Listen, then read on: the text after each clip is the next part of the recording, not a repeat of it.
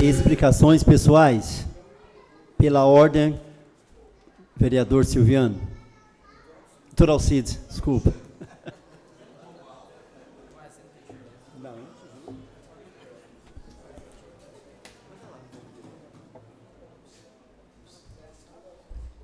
Boa noite, senhor presidente. É, boa noite a todos presentes, público presente, pescadores na luta, colegas vereadores, imprensa falada, escrita e televisiva. Eu peço um pouquinho de paciência, que eu estou falando meio ofegante, que eu estou com o pulmão um pouco carregado. Estou com vacina aí de H1N1 e parece que eu, ela, ela mesma me pegou juntamente com a Zika. Mas nós vamos tocando, que essa nossa função como vereador, ontem eu já não vim, então eu estava sentindo saudade dessa casa aqui, representar a nossa população.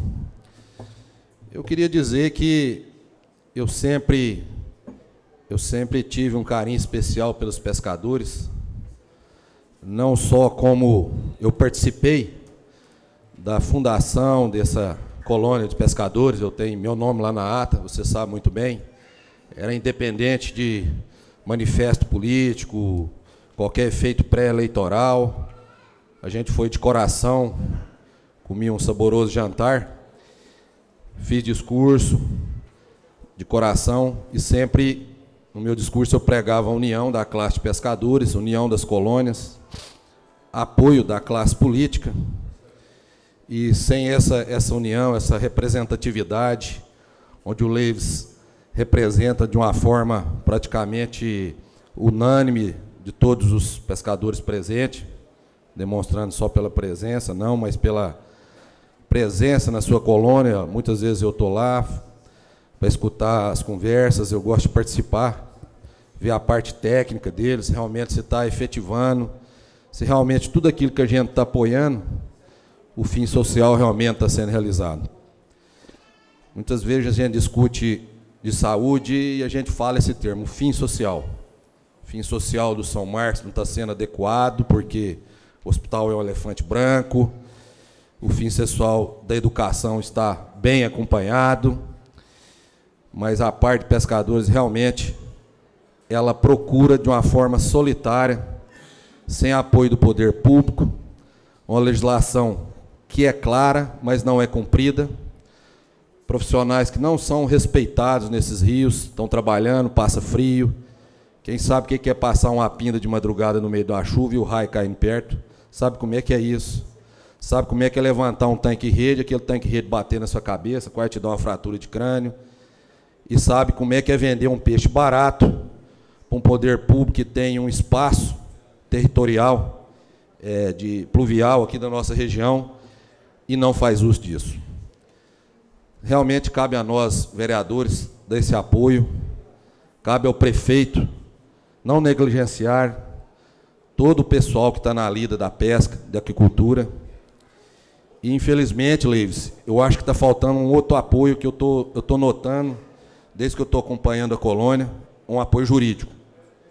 Eu acho que parece que está faltando alguém do jurídico, um advogado dessa área, para que represente de uma forma contundente traga para nós de forma, é, é, de forma pontual os problemas que têm acontecido.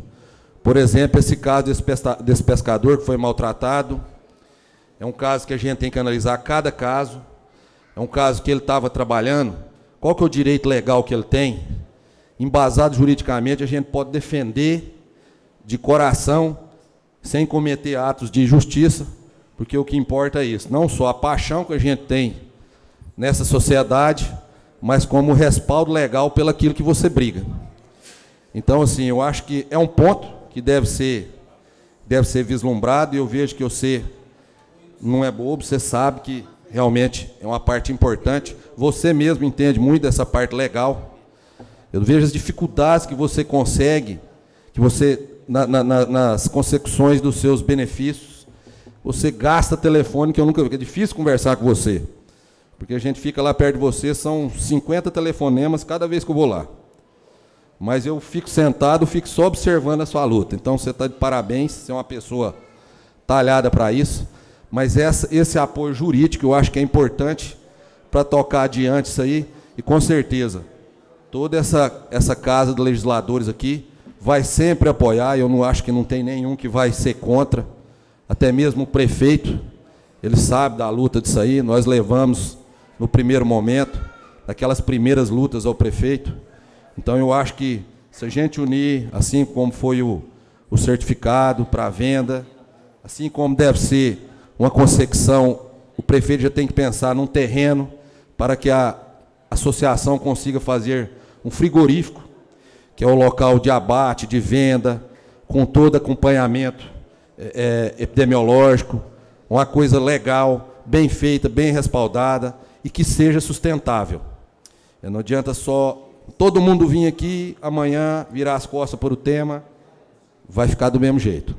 Isso aqui tem que ser massacrado, assim como foi o tema UTI, que foi massacrado.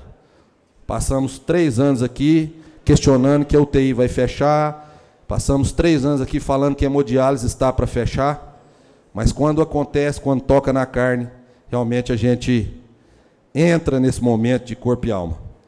Então eu acho que a gente tem que continuar essas discussões, é importante esse debate, mas não é só o debate. Temos que entrar com representatividade jurídica, a representatividade social está muito bem representada, a demonstração de trabalho e do desejo de todos trabalharem para a pesca está evidenciada.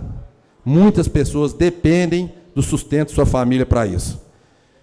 Eu estou aqui à disposição, falando em nome de todo os colegas vereadores, com certeza eles vão querer falar também, mas eu, como pescador, e eu queria ganhar um dinheiro nessa área também, impulsionado pela minha esposa, que tem um pé na biologia e gosta muito disso aí, eu realmente vejo que a, a, o lucro é muito pequeno. A gente tem que trabalhar no limite, a gente tem que ter o dinheiro na mão para investir. Infelizmente, vem os medalhões do governo, fala que tem o, o dinheiro para fornecer para o pescador, mas a gente sabe que as dificuldades são grandes, as burocracias são grandes. Mas isso não é obstáculo. A gente provando de uma forma do, do efeito social e jurídico, com certeza vamos conseguir. Mas tem que ser todos juntos, tem que ser com apoio geral e comprovando que realmente aquilo é bom, bom para a sociedade bom para Itumbiara e região. Muito obrigado.